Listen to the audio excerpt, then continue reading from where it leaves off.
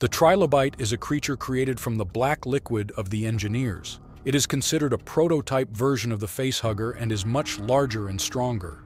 The trilobite has multiple tentacles and smaller retractable tendrils that can immobilize its victims while forcefully implanting an embryo into their bodies. This embryo develops into the deacon, a xenomorph-like creature.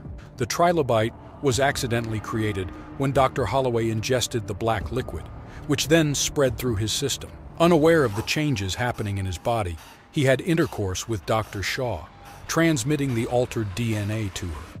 She became pregnant, but had the rapidly growing alien surgically removed. Surprisingly, the creature survived and grew into a massive tentacled aberration similar to a facehugger. It impregnated an engineer, resulting in the birth of the Deacon. The trilobite's ability to grow suggests it consumed food, although its diet remains unknown.